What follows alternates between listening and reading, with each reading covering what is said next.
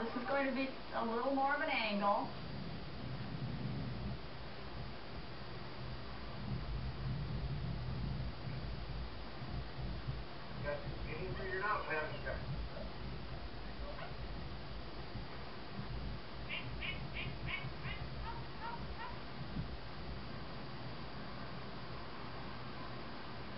Just thinking the sound, sound's coming from the speaker. Mm -hmm road a little bit, and this is And kind of what where I they want to see do, it.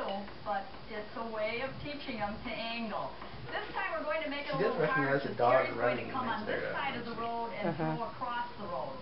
That means the puppy has to run past Terry, and it makes it a little harder because the road becomes more of a barrier when Terry's on this side of the road. We'll see if this puppy is up to this.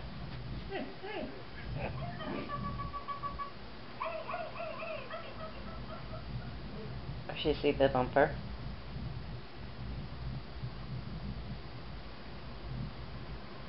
That's good. This is probably enough for this puppy. It's a hot day. He's done four retrieves. And these are just slight angles. You can do this on any road or path or change your cover even. Introduce multiple guns in the field. Good girl.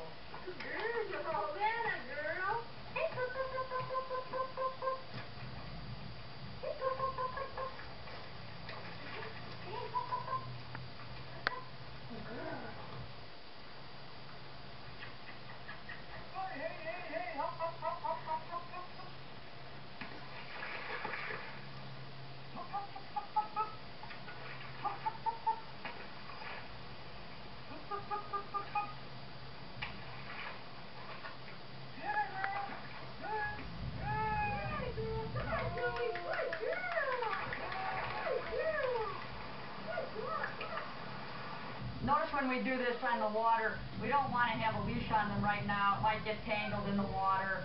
Uh, you might step on it by accident and pull them under, so we don't want to traumatize them in any way.